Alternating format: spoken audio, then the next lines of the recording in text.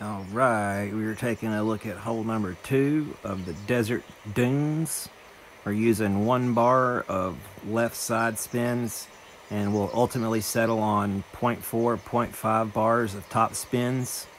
We're starting out at the plus 11 yard mark and absolute maximum distance with our yellow ring just slightly touching that rough fairway line on the right ball guide line short of the hole due to the tailwind push and the ball is slightly favoring the right edge of the hole or right of the pin rather not right of the hole right of the pin.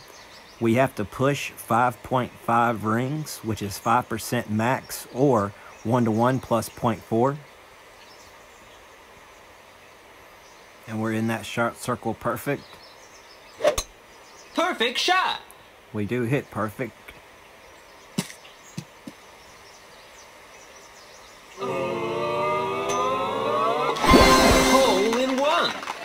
got that one dead center. Good luck on hole number two.